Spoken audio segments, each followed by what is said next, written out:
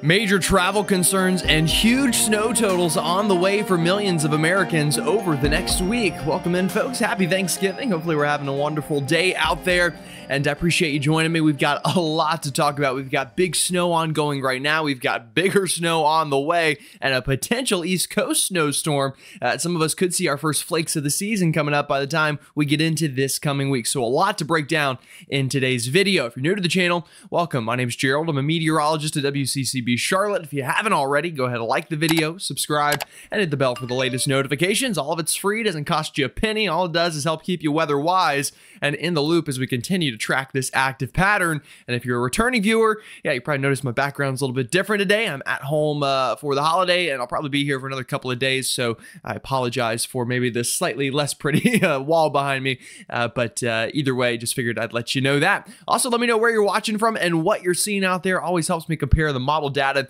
to those real world observations. All right, folks, let's dive right on into it today and show you what I'm seeing. This is the latest run of our European computer model and continuing to show quite an active stretch ahead. We've got big lake effect snow ongoing right now. We've got another system on the way this weekend that's going to bring potentially more than a foot of snow for some of us. If that wasn't enough for you, storm number three on the horizon after that. That one could potentially be the first East Coast snow for at least some cities uh, by the time we get about five to seven days from now. Let's go ahead and start by just uh, showing it to you um, in the model data and giving you the latest here on kind of the near term look at things. And we'll use our RGEM model here to kind of time things out for you.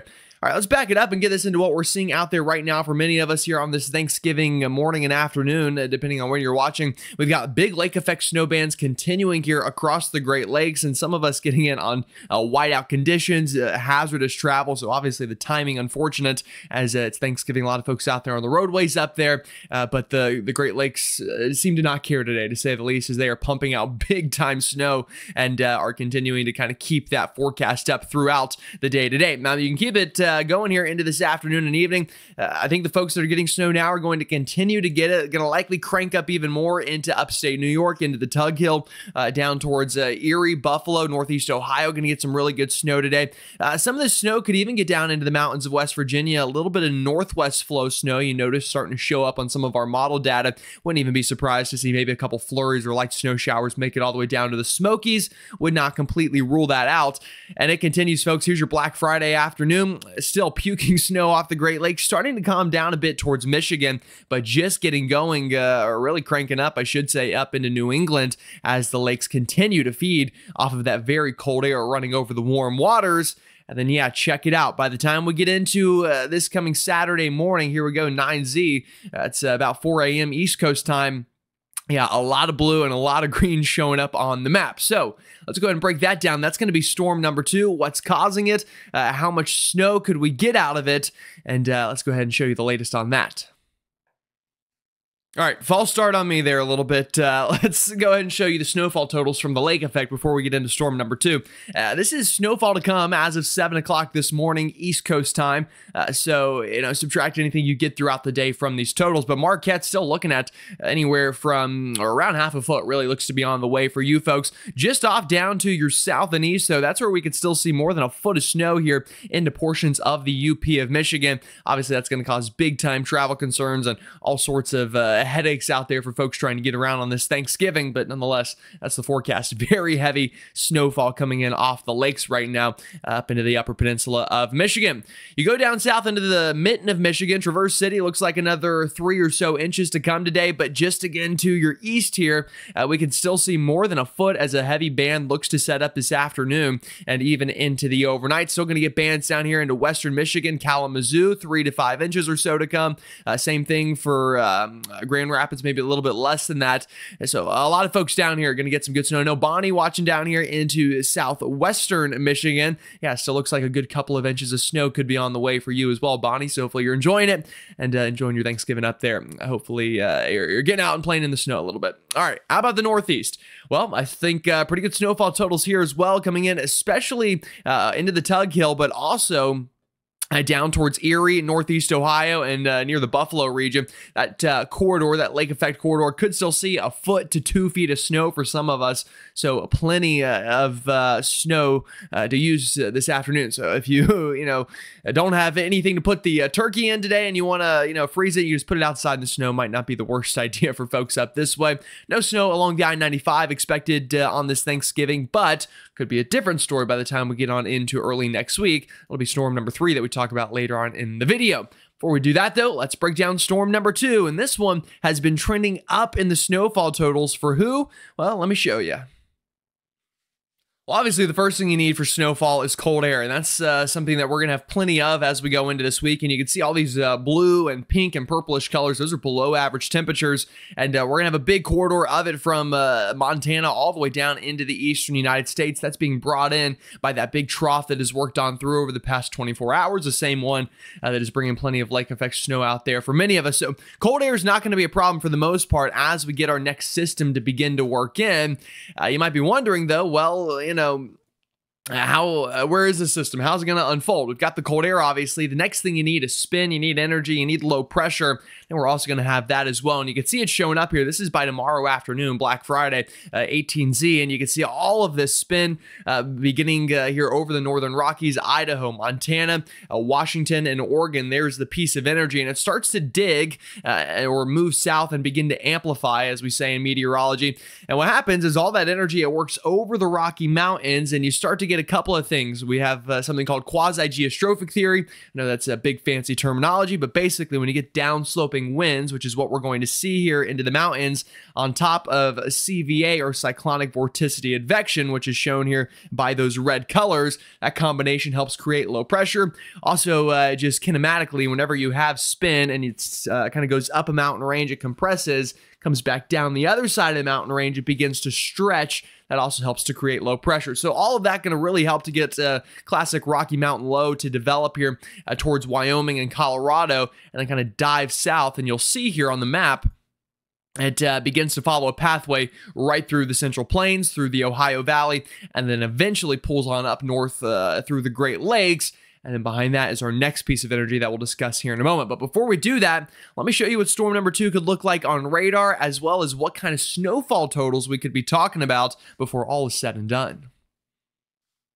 All right, we'll use the same RGEM model that uh, I showed you for the lake effect, and you can already start to see by Friday morning 12Z here around uh, 7 or 8 a.m. You've got this band of snow beginning to sneak into the map here on the left-hand side out towards the Dakotas and Nebraska, uh, and uh, starts to really get going and begins to amplify a bit. And to notice by the time that we get into Friday evening, we've got snow breaking out over Iowa, portions of Nebraska, over a stretch of the Dakotas here. And uh, that's only the beginning, folks. Through the overnight of Friday, this storm really begins to amplify. Here we go, waking up on Saturday morning. It looks like we're going to have some snow in St. Louis. Could have snow as far south as uh, maybe places like Farmington, Sikeston. Would not be shocked to see some uh, flakes begin to fly there by Saturday morning. You keep it going, and it just snows basically all day up into Iowa, starts snowing into Illinois, uh, into Indiana, Chicago. Now, something to note here uh, definitely is the rain snow line is going to fluctuate from what you see on this model. It could shift a little bit further north, it could shift a little bit further south. Keep that in mind, though. Uh, so, you know, that's going to be a, a, key part of the forecast. But either way, the folks that stay in snow the entire time, which right now looks like places like Chicago, up into Iowa, maybe even uh, portions of central Illinois, northern Indiana, we're going to get some pretty heavy totals out of this. Storm continues cranking Saturday afternoon, starts to wind down overnight Saturday for places like Iowa and Illinois, but then the snow breaks out into portions of central and northern Ohio, western PA, uh, western New York State. Something also I would watch here this is Sunday morning. I know it, uh, it's kind of hard to see, but watch for some icing into the mountains of North Carolina, maybe even the mountains of South Carolina up into southwestern Virginia. Not being talked about a lot here, uh, but folks out that way would not be surprised to see some ice there for your Sunday morning. Looks like mainly rain for Kentucky, Tennessee, southbound into the Gulf states, uh, but uh, looks like beautiful snow up into Michigan. You can even see a thumping of snow try to work on into New England to start the day Sunday, but throughout the day Sunday, the storm starts to hook north, and what starts as some snow into New England and starts as ice down into Appalachia, uh, eventually turns to a good old fashioned cold rain here by Sunday afternoon along the I 95. And if we keep it going here with our European computer model, that cold rain really takes over, and this storm is out of here by Monday morning. But what's behind it? Yeah, another storm, storm number three. It's the gift that keeps on giving as we start December. And as I've kind of been telling you, I think what happened here uh, for the past couple weeks or so. All right, that's what it could look like on radar. What about snowfall totals? That's what probably many of you want to know. Well, let's go ahead and take a look before we start to break down storm number three. Right, let's get into the snowfall totals here with storm number two. We'll start up into the Dakotas. Uh, this is the NWS forecast for the next 48 hours, and I think the storm will be done by then, so the timing works out good here. I think a good band of uh, three to six inches of snow or so here through the heart of South Dakota and into uh, southwestern uh, North Dakota. It looks like going to get a pretty good band of snow, so I think uh, the NWS onto something here. Also up into Montana, if you happen to be watching, I don't think I have many viewers there, but uh, could see a pretty good early season winter storm out of this this as well. Now, as we go further off to the south and east, this is where the totals are really going to be big, folks. This is the European computer model. This is just the operational run, so this is just one model. I'm going to show you uh, another uh, tool here in a second to use, but just from the operational Euro, this is going to be a good snowstorm. I'm talking half a foot to a foot of snow for a lot of folks, almost the entire state of Iowa into the northern half of Illinois, the southern half of uh, Wisconsin, northern Indiana looks like big snow. Now, keep this in mind. This includes the lake effect snow that's ongoing right now. So a lot of this up into the UP and, and uh, excuse me, and up into uh, northern uh, Michigan is mainly lake effect. If I back it up, this is pre-storm, so you can see that's all the lake effect, and then here comes the actual storm itself that gets uh, kind of these new totals added on top of it.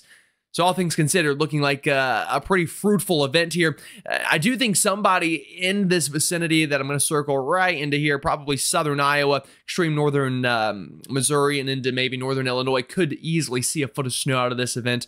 Would not shock me. That's just the operational Euro. Here's the blend of models. The blend of models is further north and has even higher totals than the operational European.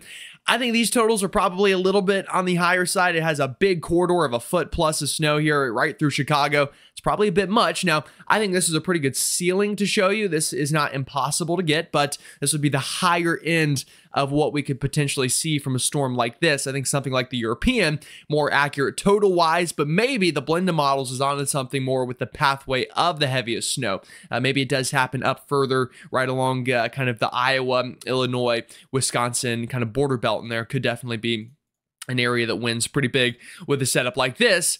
Also, going to get some snow in the northeast out of this. Now, it's going to be mainly rain, though, especially for the uh, I 95 as you go up into the interior from this. Uh, just this is just storm two. This is not including lake effect could still see a good corridor of one to three, even some three to fives mixed in here into the interior of the Northeast. Uh, but, uh, you know, after you get done with the lake effect, this will probably feel like not a whole lot, at least for some of you. But if you don't cash in on the lake effect snow, uh, you could definitely get lucky with this storm system. And if this one doesn't do it for you, well, what about storm number three? Yeah, that one also going to take a pretty favorable path for snow for a lot of folks. Let's go ahead and break it down. Well, as we end out November and start December, still expecting plenty of cold air to be left around. And I'll be honest with you, it's a bit of a switch up from what we saw about a week or so ago in the model guidance. Remember, it looked like the southeast ridge was going to be in full swing. And I was telling you, a lot of us might have to wait a bit longer for snow. Now, some of us, and a lot of us, to be fair, will still have to wait longer. However, not everybody. And the southeast ridge looks to get beaten down. Either way, it's going to be chilly. And guess what? Another piece of energy moving right through the Rockies here by Sunday afternoon. Uh, this is 15Z going into 18Z on Sunday. And it's going to be the exact same process, folks, that I explained with vorticity beginning to create low pressure. But notice this time it crosses the Rockies at a much further point, uh, gets that spin and that low pressure to develop uh, even down into New Mexico and Colorado. So that's going to be a much more favorable low pressure formation zone uh, here uh, for snow for a lot more people. And you can see the path of this vorticity by the time we get into early Tuesday and into Tuesday afternoon. The core of it, the core of the lift in the atmosphere here, going to be further south over uh, kind of the deep south, Mississippi, Alabama, the Carolinas, right where that vorticity is spinning, and then starts to work up the coast. And that's a pretty favorable look for some sort of uh, snowy event to potentially unfold here, as we see in our vorticity map. Now, what could it look like on radar? Probably your next question. Well, here's the European model. Notice snow begins to break out into Colorado, Kansas, and into Missouri by the time we get on into your Monday. By Monday evening into early Tuesday, we've got heavy rain down into the Gulf states, but a band of snow trying to develop through the Ozarks into the Ohio Valley. And eventually, this storm system really starts to overlap with the cold air and snow begins breaking out into southern Indiana, portions of Kentucky. Haven't seen a lot of snow there yet this season. Uh, even uh, into southern Illinois, Indiana, Ohio, Pennsylvania tries getting snow, turns into a full blown snowstorm for portions of uh, the Northeast. That would include places like uh, much of Connecticut, northern New Jersey. Uh, it's a mighty fine line in places like Philadelphia, but maybe it starts as snow, goes to rain, and an event like this would be a good snowstorm for the Hudson Valley, uh, up towards Scranton, back down towards Harrisburg State College. And uh, you can see the storm continuing to crank up. Looks like heavy snow, at least a point for portions of Rhode Island, and even uh, maybe places like Boston could get into something exciting with a track like that on the European model. What about the GFS model? What does it show? Well, it starts the same, gets snow to break out, but it's further south. Check it out. It's got a winter storm into Little Rock. It's got winter weather into portions of western Tennessee. Still much of Kentucky has a bit of an icy event here into the Appalachian chain from, uh, we'll call it maybe Boone northbound up into the Virginias. And it's a full blown winter storm again, folks. Starts as some snow and winter weather, changes to rain in places like Philly, Baltimore, DC, uh, and you still get either way a full blown nor'easter that rides right on up and leaves uh, a path of ice and snow with it. Now, here's the thing. This would be next Tuesday, Wednesday. It's Thursday now, so we're not that far, but also far enough, a lot of details to iron out let's go ahead and show you some of the things we still need to figure out and uh, the kind of just overall chance that where you're watching from gets winter weather out of this setup. Part of the mystery here to solve is going to be the track of this low pressure. The latest model guidance keeps it uh, relatively far north, kind of rides up the Appalachian chain.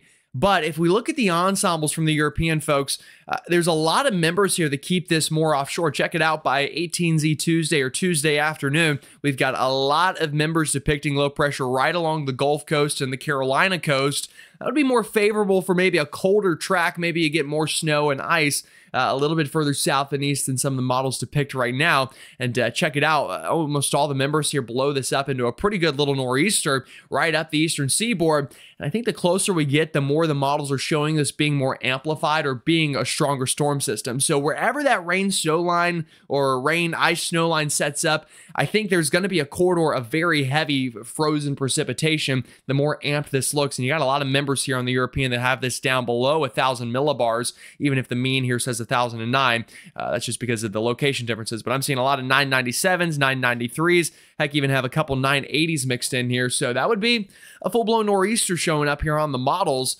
What are the chances you actually see snow out of it, though? Well, uh, this is again one of my favorite maps to use. This is the chance of seeing accumulating snowfall, we'll call it, over a 24 hour period according to all those ensembles I just showed you uh, here on the European suite pretty good uh, chances out into the front range of Colorado, as you would expect with a further south storm track. Pretty good chances into Kansas, Missouri, and then check out where chances really blossom here. Uh, the highest numbers right now, and this is a big uptick from yesterday right into the Northeast, specifically the Hudson Valley, Western Massachusetts, Southern Vermont, New Hampshire. Heck, even places like Boston, about a 30 40% chance. Northern New Jersey looking pretty good. It's a fine line for New York City. It's going to be one of those storms that maybe 50 miles to your north, it's a full blown winter wonderland. Over the city, maybe 35 in rain. So a lot of things we're going to need to figure out here. And we will do so as we get into more mesoscale model range. But uh, just to show you, the uh, GFS also and its ensembles have this agreement. We've got pretty good chances of snow, even higher percentages here. Check it out. Scranton, kind of a bullseye here for snowfall right through the Hudson Valley. Again, Western Mass, Southern um, uh, Vermont, New Hampshire, towards uh, a lot of these big cities that are just a little bit inland. But either way, uh, like I said, uh, we'll come over the data here over the coming days, but pretty good chance of snow here. And I think no matter what, this has a good shot of at least starting at snow in places like Philly, New York City, uh, Boston could uh, at least see flakes fly, even if it's not a perfectly, um, you know, wintry event the entire time. Also watching ice, this is the same map, but uh, with freezing rain. And you can see ice chances beginning to increase in the mountains of North Carolina, Virginia, West Virginia, and uh, even further on up the Appalachian chain. So a lot that we're going to need to talk about over the coming days. It's an active pattern, multiple winter storms to break down, and all of it starting now with some Turkey Day snow on up into the Midwest. All right, folks, I appreciate you hanging in there with me. Again, have a wonderful and blessed Thanksgiving. Stay safe out there. Make sure to spend some time with family, and I'll see you all next time.